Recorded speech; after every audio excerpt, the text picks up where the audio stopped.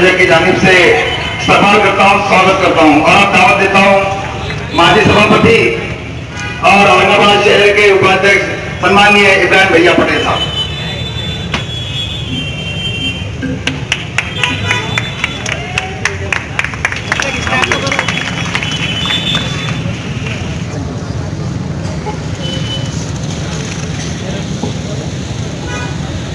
सभी को मेरा असलकुम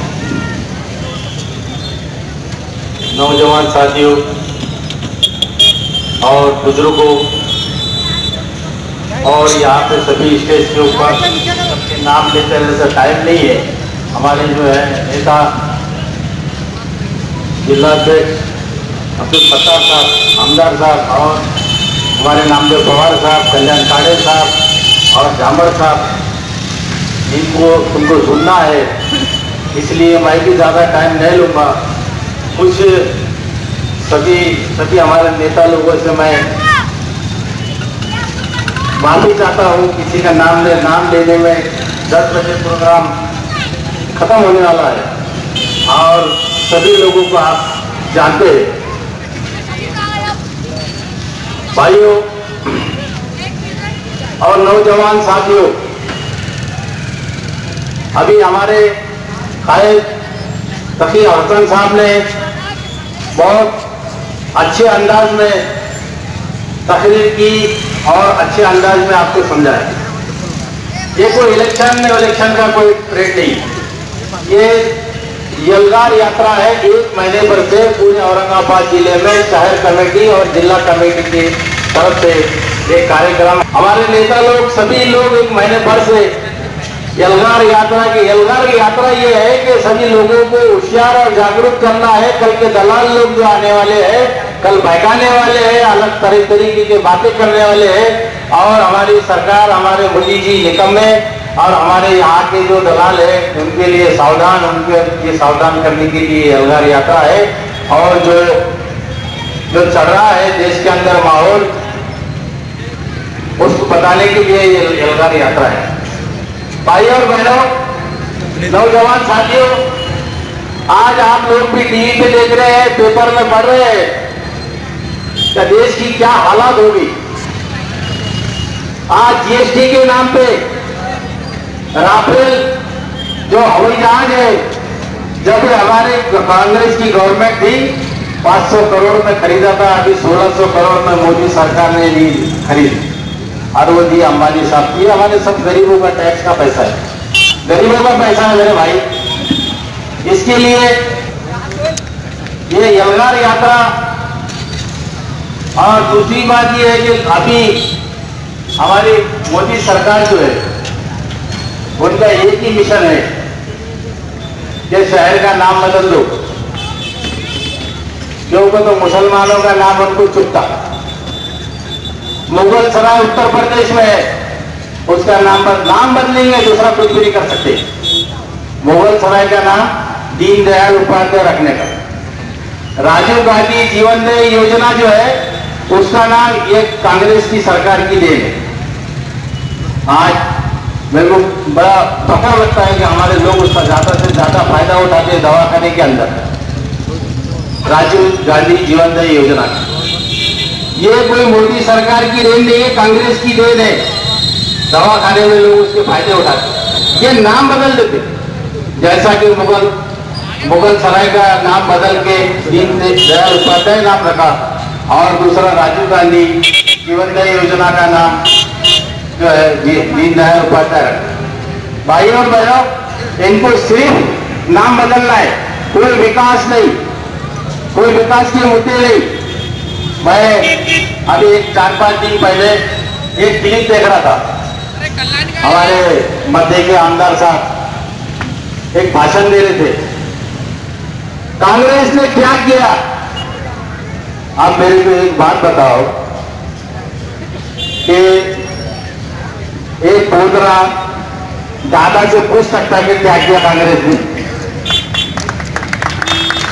आमदार साहब को यही मालूम नहीं है आमदार साहब जिस कॉलेज में पढ़े मौलाना आज़ाद डॉक्टर रफीक जकीरिया साहब का कॉलेज था तो उसमें पढ़े दो ढाई लाख रुपए महीने की उनको जो नौकरी लगी। आमदार साहब भूलो मत आप कांग्रेस ने क्या दिया? जैसा मोदी जी बोलते कांग्रेस ने क्या दिया?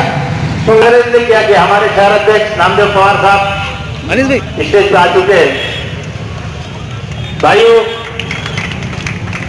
अभी अभी तकी भाई ने जो बताए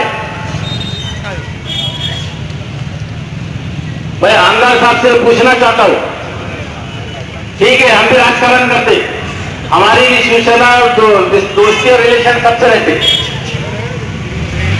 मगर आमदार साहब बापट साहब पुरखा मंत्री जो है उनको अकेले में तीन लोग श्री प्रॉपर के यहाँ के एमएलए साढ़े सात को घर में लेके बैठने का मतलब क्या है? मतलब एक ही है। मतलब एक ही है।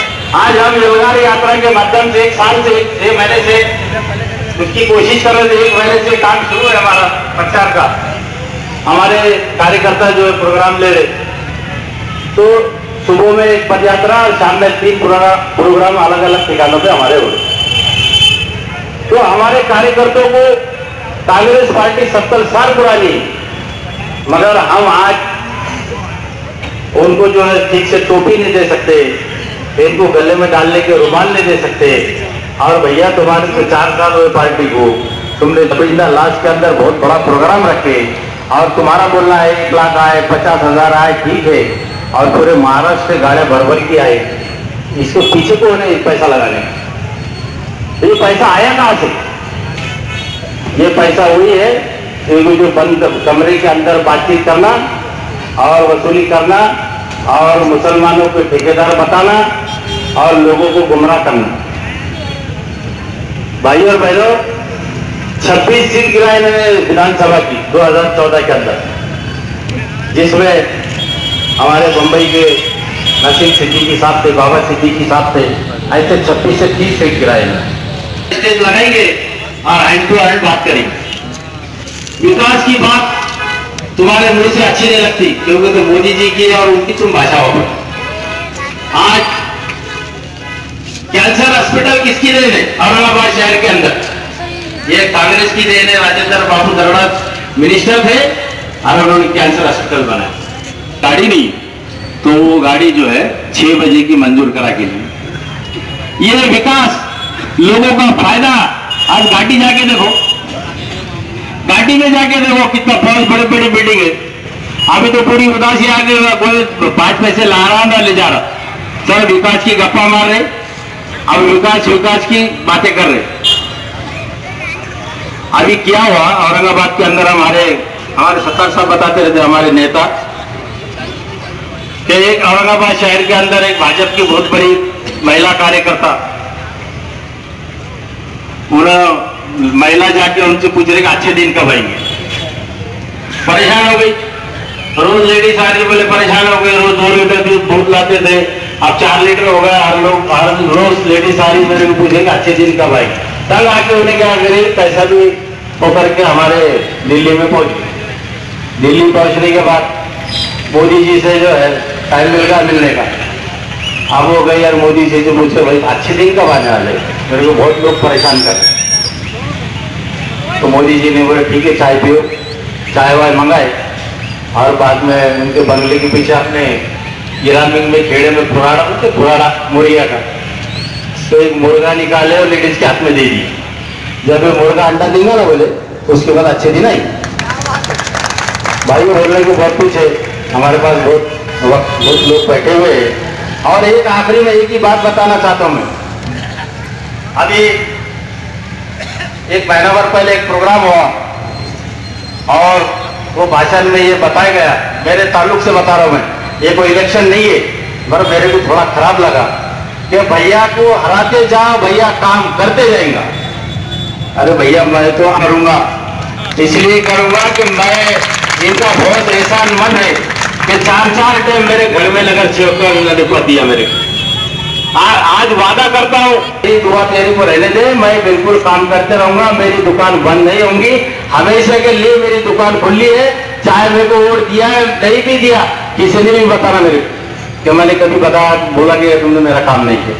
काम करने का, अल्लाह को हाजिर और नाजिर रख के काम करने का, गरीबों के काम करने के, मैं अभी एक रैली लेके आ रहा था, अभी प्रोग्राम में आया मैं। तो यकीन मानिए, ऐसी एक लोगों के गोरख के ऊपर एक ऐसी खुशी थी। बहुत होगा। बहुत बड़ी बात है। मेरे लिए ग्रामीण से आदमी आया हुआ है, औरंगाबाद शहर के अंदर, इसलिए बता रहा मैं बताना पड़ रहा मेरे को कि यहाँ के हमारे निकम में आमदार, उन्होंने ये अल्फाज अपने कि भैया काम करते रहेगा। मैं वचन देता हूँ, आखिरी सांस तक तुम्हारा काम करते रहूँगा। इनको बोला तुम नगर सेवक बैठो ऑफ़िस भी मत बनाओ है क्या ऑफ़िस उनका बताओ का महल में जाके मिलना पड़ता है। दूसरा, एक आदमी भी उनके साथ में नहीं रहता भाई। वो क्या बोलते ना, नहीं बोलना चाहिए। वो यूज़ करो, फेंक दो। इलेक्शन आएँगे, पैसे दे देंगे और इनको खरीद देंगे। ऐसा इनका एक माइंड बना हुआ है। हमारे इनको ये मालूम नहीं है। ये जनता बहुत होशियार है। ठीक है, हालात आएँगे कुछ गलतियाँ हमारे से नहीं होंगी। कुछ गलतियाँ हमारे से नहीं होंगी, ऐसा नहीं होगा।